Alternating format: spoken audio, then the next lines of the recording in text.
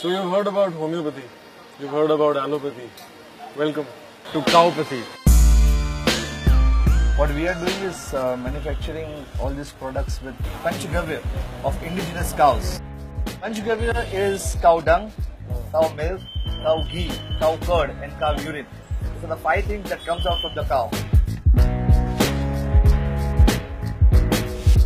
We talk about Panchagavya as a medicine, it means it has to come from desi cows. If it comes from the Jersey cow, it is not considered as medicine.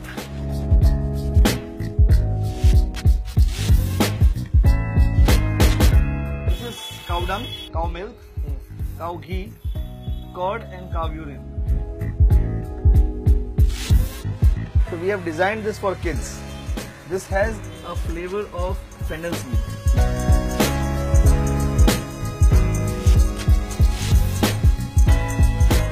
they have said that government offices should be cleaned with phenyl. So this is cow urine phenyl.